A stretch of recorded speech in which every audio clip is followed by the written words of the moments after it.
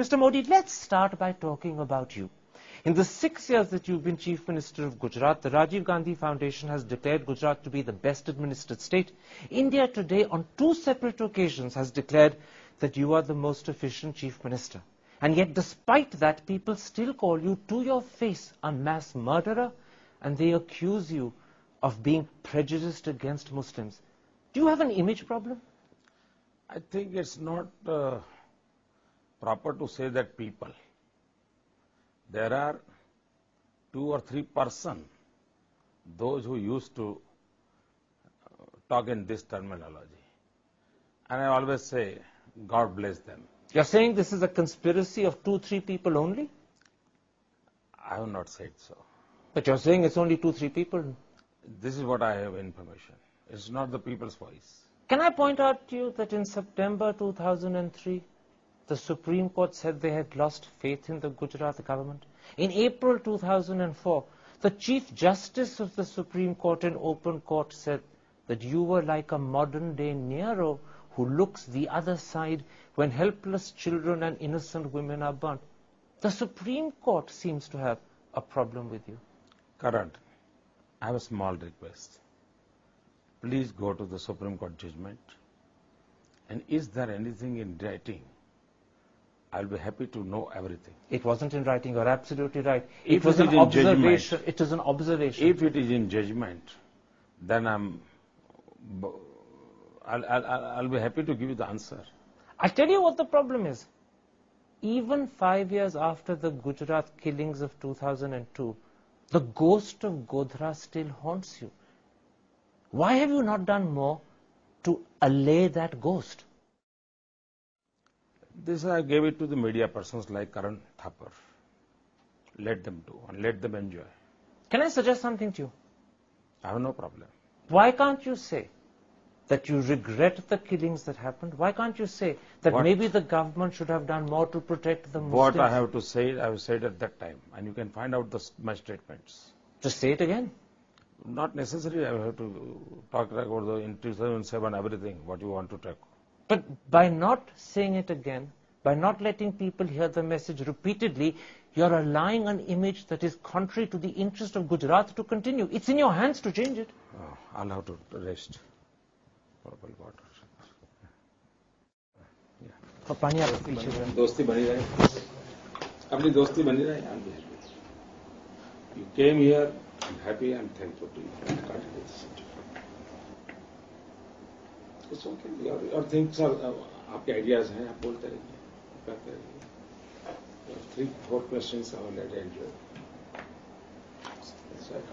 पर मोदी साहब मोदी साहब कल देखो मैं दोस्ताना संबंध बनाना चाहता हूँ। आप उसको कोशिश कीजिए। मुझे मुझे एक चीज़ समझाए sir. I am not talking about doing anything wrong I am saying why can't you correct the image देखिए आपने दिस इज़ नॉट द उसके लिए आपने 2002 में मुझे मिले होते 2003 में मिले होते मैं सब साध्वी प्रज्ञा सिंह, मेरा सवाल आपसे ये है कि चूँकि हेमंत करकरे को पूरा देश शहीद के तौर पर जानता है, उनको अशोक चक्र मिला और उनके सीने पर आतंकियों की गोलियाँ लगी, पाकिस्तान से कसाब और उसके साथ ही आए थे। और उन हेमंत करकरे के लिए आपने जिस तरह की बात कही, आपने कह दिया, उनको आपने श्राप दिया था, आपने कहा उनका सर्वनाश हो गया, आपने उनको कहा कि वो देशद्रोही थे, ये सब कहना एक शहीद के लिए जिसे पूरा देश एक शहीद के तौर पर मानता है। लगता नहीं कि बहुत शर्मिंदगी वाला बयान है और इस बयान के लिए आपको माफ़ी मांगनी चाहिए, वापस लेना चाहिए? ऐसा है कि द्विपक्षीय बातें नहीं करना चाहिए किसी को भी। मैं एक ही बात कहूँगी कि जिस व्यक्ति को मैंने प्रत्यक्ष झेला है, ठीक है, उसके बारे में अगर मैंने कहा है तो इसकी सत्यता पता करना चाहिए। दूसरी बात यह है कि मेरा एक कहना है, मैं प्रत्यक्ष उसकी प्रमाण हूँ और मेरा कहना है कि जो देशभक्ति का दमन करेगा, जो भी हो, देशभक्ति का दमन करेगा तो आतंकवाद से मरेगा। लेकिन सवाल तो यह है ना, साध्वी प्रज्ञा सिंह, कि वो देशभक्त थे क्योंकि देश के लिए गोलियाँ खाई। वो जिस रात निकले थे मुंबई में उस रात वहाँ पाकिस्तान से आतंकी आए थे और उसके बाद वो मारे गए आतंकियों की गोली से। उनके सीने पर गोलियाँ लगी और पूरे देश ने उन, वो तस्वीर उस रात की देखी। आप ऐसे शख्स को जिसे देश ने एक जावाज के तौर पर देखा जिसे अशोक चक्र मिला उन्हें आप देशद्रोही कहते हैं उन्हें आप हिंदू विरोधी कहकर एक जामा पहनाते हैं और साथ में आप खुद को देशभक्त कहती हैं। तो आपने ऐसा क्या किया कि आप देशभक्त हो गए और जो देश के लिए शहीद हो गया वो हिंदू विरोधी और देशद्रोही और उसका सर्वनाश हो गया। आप मुझे आप मुझे ये प्रश्न मत करिए। क्योंकि मैंने जो कहा है वो मैंने झेला है। और जो व्यक्ति झेलता है उससे ज़्यादा अच्छा कोई नहीं जानता। कानून के अंतर गैर कानूनी काम करने वाला वो था कि मैंने स्वयं ने झेला है। इससे ज़्यादा मैं क्या, क्या कुछ कहूँ? इतनी गंदी गालियाँ देता था वो मुझे। इतनी भयानक गालियाँ देता था। और वो एक ही बात कहता था इतने गंदे बोलने के बाद मैं बोल नहीं सकती इस कैमरे पे। तब मैंने उससे कहा था जा अपनी बेटी से पूछ कि ये क्या होता है? क्या कहोगे आप इसको? था कोई इसका कानून? कौन था ये? जो मुझे तेरह दिनों तक गैर कानूनी रखा, क्या था ये कानून? ये कानून का रक्षक है क्या? किस प्रकार की बात करते हैं? संवेदनशीलता नहीं है कोई। हमारी संवेदना संवेदना नहीं होती। कौन सी संवेदना संवेदना होती है? ओम्बले जब मरा तो उसको, ओम्बले जब शहीद हुआ, ओम्बले जब आहूत आहूत हुआ तो क्यों उसको नहीं दिया था इन लोगों ने पुरस्कार? क्यों उसको पुरस्कार नहीं दिया था? ये मुझे जरा मेरा भी प्रश्न है खड़ा कर रही हूँ कि क्यों उसको नहीं दिया था? अगर वो अमले नहीं होता तो कसाब भी पकड़ा नहीं जाता और दिग्विजय सिंह सरीखे लोग हमें आतंकवादी सिद्ध कर देते हैं। इसलिए प्रश्न समाज से करिए, प्रश्न इन कांग्रेसियों से करिए और ये समाज, ये राष्ट्र, ये जनता उनको उत्तर देगी। आप उस समय का इंतज़ार करिए। ये सही है, प्रज्ञा सिंह। अगर आपके साथ कुछ टॉर्चर हुआ, ऐसी बात हुई तो आपको अदालत में जाना चाहिए था। आप कोर्ट में अपनी बात कहती देश में प्रधानमंत्री मोदी आपके शुभचिंतक हैं, राजनाथ सिंह आपके शुभचिंतक हैं, महाराष्ट्र सरकार आपके शुभचिंतक हैं। आप इन तमाम दरवाजों को खटखटाती। लेकिन आज आप चुनाव के चुनाव के वक्त अगर आप ऐसी कहानियाँ सुना रही हैं और साथ में आप करकरे को देशद्रोही कह रही हैं, आपको अगर कांग्रेस से शिकायत थी, आप कहिए, आपको हक है कहने का। लेकिन इस कांग्रेस से शिकायत के नाते अगर आप हेमंत करकरे के लिए लिए कह रही हैं। तो मुझे लगता है इसके लिए आपको एक बार सोचना चाहिए कि आपने देश के उन लाखों करोड़ों लोगों को जिन्होंने उन्हें एक शहीद के तौर पर देखा, उनकी भावनाओं के साथ भी खिलवाड़ कर रही हैं अपनी चुनावी फ़ायदे के लिए।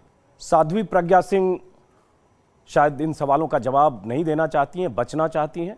और बीजेपी भी अब इन सवालों पर डिफेंसिव है। बीजेपी की तरफ़ से भी शायद उन्हें कोई संदेशा गया है कि इन सवालों से बचें।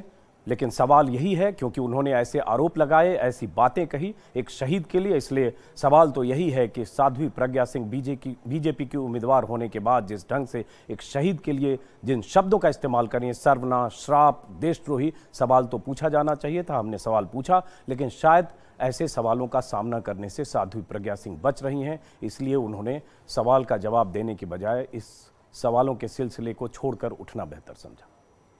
तंजुम जी। कि हमारे इतने बड़े मैनिफेस्टो में अभी तक आपने भारत की बुनियाद का एक सवाल नहीं पूछा। उस पर भी आएँगे। मैं आपके कार्यक्रम में आया हूँ नहीं नहीं। आप किन बात पड़े हुए हैं। रवि जी मैं क्यों रहूँ आपके कार्यक्रम में? नहीं नहीं रहूँगा रविशंकर जी मैं उस पर भी बात करूँगा। देखिए एक अगर आप मुझे तरीके से बात करेंगे मैं आपके सवाल का जवाब दूँगा। जी जी मैं नहीं mister Ajay Tanjum I am very sorry to say that अगर आप सीनियर संपादक है तो मैं भी देश का एक सीनियर नेता हूँ। बिल्कुल इसमें तरह की हल्की बात करेंगे तो मुझे आपसे नमस्ते करना पड़ेगा। धन्यवाद। नहीं रवि जी मैं उस पर भी बात रवि जी मैं उस पर भी बात करूँगा मैं उस पर बात कर रहा हूँ आपसे।